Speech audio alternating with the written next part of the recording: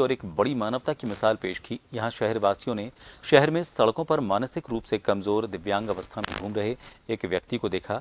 इसके हाथ की अंगुलियों में पड़े लोहे के छल्ले अंगुलियों के अंदर मांस में घुस चुके थे और अंगुलियाँ पूरी तरह से जख्मी थी। नगर वासियों ने पहले मानसिक रूप से विक्षिप्त व्यक्ति को नहलाया, उसके साफ़ सुथरे उसे कपड़े पहनाए और उसके बाद उसकी अंगुलियों में पड़े छल्लों को काट कर उसका इलाज कराया।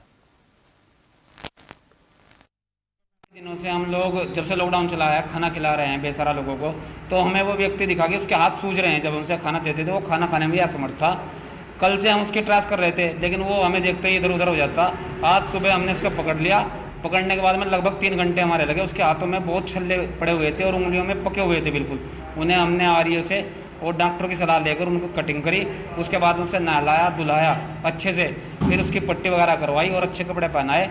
अब उस व्यक्ति ने नहाना आने के बाद में, पट्टी होने के बाद में अपना नाम उमा शंकर बताया है और वो भरतपुर ज़िले के राजस्थान से है।